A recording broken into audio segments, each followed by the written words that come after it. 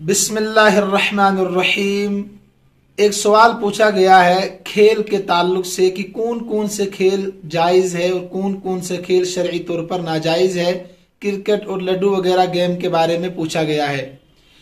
आप हजरात को सुनकर बड़ा ताज्जुब और हैरत होगी कि रहमत आलम सल्लल्लाहु अलैहि वसल्लम ने इरशाद फरमाया, निशानाबाजी तैराकी तीर अंदाजी वगैरह खेलों में फरिश्ते भी हाजिर होते हैं।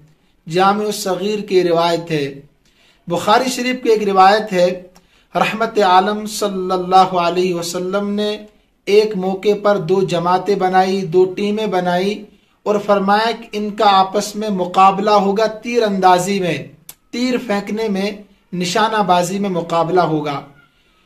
और एक टीम की तरफ़ इशारा करके फरमाया कि इनमें से एक टीम के साथ मैं भी रहूँगा। दूसरी टीम को गवारा नहीं हुआ, होता भी कैसे एक तरफ़ रहमत आलम सल्लल्लाहु अलैहि वसल्लम मौजूद हो और हम तीर अंदाजी करें। फरमाया कई फनरमी व अनतफ़ीम या रसूल अल्लाह सल्लल्लाहु अलैहि वसल्लम, हम कैसे तीर फेंकेंगे? आप उस जमात में शामिल होंगे। तो रहमत आलम सल्लल्लाहु अलैहि वसल्लम ने फरमाया, इरमू वाना माकुम कुल्लिकुम, तुम तीर फेंको, मैं तुम दोनों में से हर एक के साथ शामिल रहूँगा। इन्हें दोनों तरफ़ में बराबर रहूँगा, उनकी हौसला अफजाई के लिए। इसी तरीके से तिरमिजी शरीफ की एक रिवायत है, रहमत आलम सल्लल्लाहु अलैहि वसल्लम बयान करते हैं कि तुम निशानाबाजी सीखो और सिखाओ, और साथ में फरमाया, घुड़सवारी सिखाओ। इस जमाने में घुड़सवारी भी सीखनी चाहिए, सुन्नत समझकर, लेकिन गाड़ी चलाना, सीखना, ये भी एक सुन्नत है। ड्राइविंग सीखना, ये भी एक सुन्नत है। रहमत आलम वसल्लम तरगीब दे रहे हैं कि निशानाबाजी सीखो, घुड़सवारी सीखो। उस जमाने में घोड़ों से सारे काम होते थे, सफ़र में, हजर में, हर मामले में इन्हीं से काम लिया जाता था।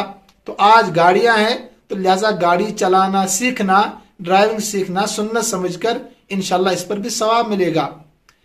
और हज़रत उमर फारूक रज़ी अल्लाह तु ने हज़रत उबैदुल्ला बिन जर्राह रज़ी अल्लाह तु को लिखा अल्लिमुगलमानकुम अलमा कि अपने बच्चों को तैराकी सिखाओ।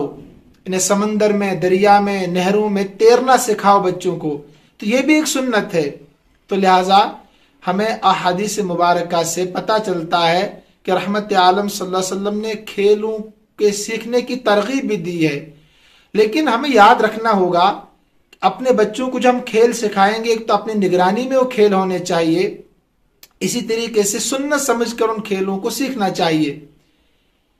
और हज़रत मौलाना यूसुफ साहब लुधियानवी रहमतुल्लाह फरमाते हैं कि किसी भी खेल के ताल्लुक से तीन चीज़ें मद्देनजर होनी चाहिए। जो भी आप खेल खेलते हैं, चाहे क्रिकेट आप खेलते हैं, लूडो गेम खेलते हैं कैरम बोर्ड वगैरह खेलते हैं, कोई भी खेल आप खेलते हैं, वॉलीबॉल, फुटबॉल, कहते हैं कि तीन चीज़ें मद्देनजर होनी चाहिए। तब जाकर वो खेल हलाल होगा, जायज़ होगा।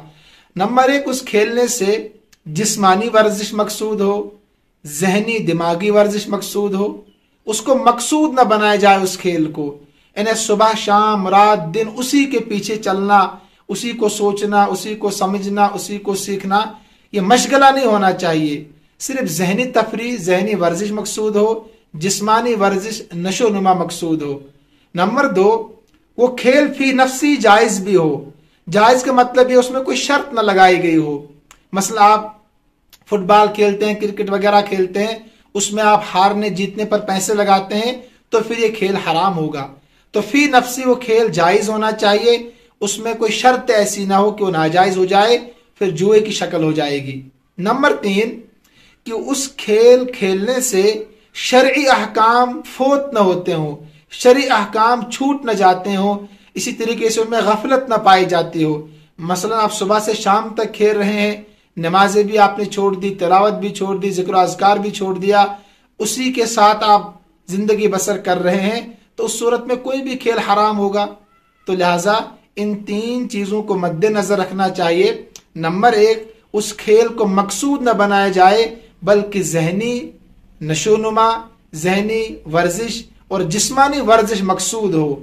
नंबर दो, फ़ी नफसी वो खेल जायज़ होना चाहिए, उसमें कोई जुए की शक्ल ना हो, कोई शर्त न रखी गई हो हारने जीतने पर। और नंबर तीन, वो खेल खेलने में शर्य अहकाम में गफलत न होती हो। तो उन तमाम सूरतों में ये तमाम खेल खेलने जायज़ भी होंगे, लेकिन अगर ये तीन शर्तें नहीं पाई जाती है तो फिर तो हर एक खेल हराम होगा।